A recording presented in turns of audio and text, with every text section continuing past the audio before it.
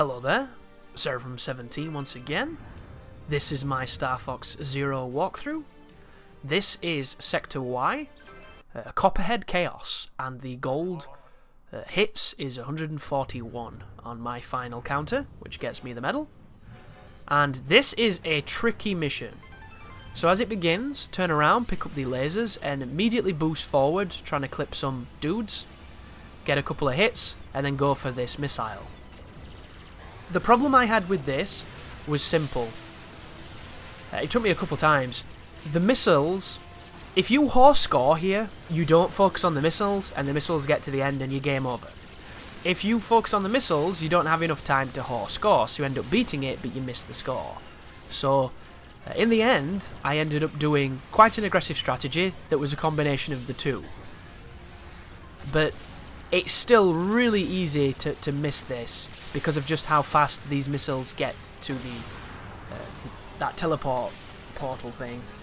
Or additionally, when it goes to that fixed camera, get the hell away from it. It can be tricky to orientate yourself when you can't see where you're going, but just boost away from it, make sure you don't take any unnecessary damage.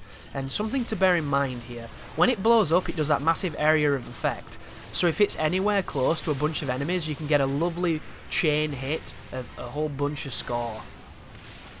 Those little crappy ships, when they're up your ass, just break, they'll go past you, and then you can laser them down. And when it shows you this, this is a bunch of weird yo-yo monsters that are going to start attacking the... Uh, is it the Grey Fox, I think this is called? The big ship? I can't remember the names and stuff, dude. It's It's been a very long time since I played either Lylat Wars or Smash Brothers. But just come over to the ship, start hitting these with charged shots. There's usually about four of them. They grind the surface of the plane, so you'll be able to, to spot them, hopefully. And then Rob will tell you that all enemies are done. On Yeah, the Great Fox. So, I said Grey Fox, didn't I? Metal Gear Solid. But once that's done, you can go back to shooting enemies, and then prioritising on the missiles. So just get yourself in there, shoot a lot, and just enjoy it. This is a fun level, even though I think scoring on it was a little bit tricky at first just because it goes by so quickly. But I wanted to mention our, our buddy DSP uh, in a bit more of a positive light, and I say positive light rather loosely. It's not all that positive, it's kind of pointing out an interesting hypocrisy, but it's not doing so in a way that's trying to make him look bad necessarily, just in a way to maybe just analyse him. And it, and it comes from the Turtles, so it, it is relevant because it's a Platinum game. And he really didn't enjoy uh, Turtles Mutants in Manhattan, and some of the critiques that he's given were perfectly fair. I can completely see what he's talking about. But I, I, took one issue from this, and I don't know if you've seen any of his older playthroughs or if you've watched any of the This Is How You Don't plays, but he's played a bunch of Dynasty Warriors games, and when I've watched playthroughs for them, he has complimented them a lot and enjoyed them. Yet, he said that Turtles was crappy because all you did was run around fighting generic enemies to get to an objective, stand at an objective, and then go and run around and fight more generic enemies. Does that sound like anything to somebody? Because it sounds a whole lot like something to me.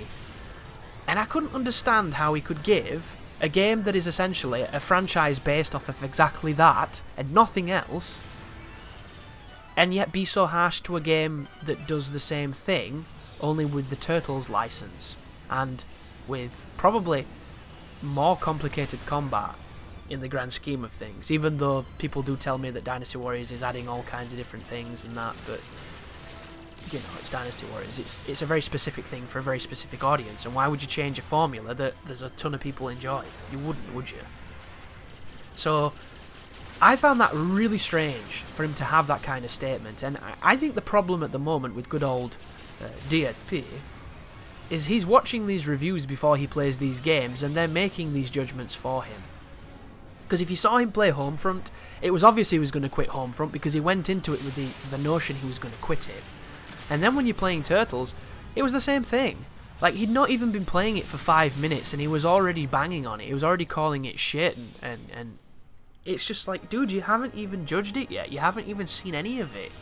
Yet you're immediately being critical. And don't get me wrong, I'm really critical of games, but I'm critical when it deserves it, not when there's nothing to say, so instead I'll just shit on the game.